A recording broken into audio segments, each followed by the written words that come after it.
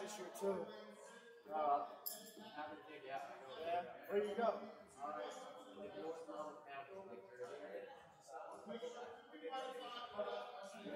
my old teacher from high school. He goes to Ocean City. Yeah.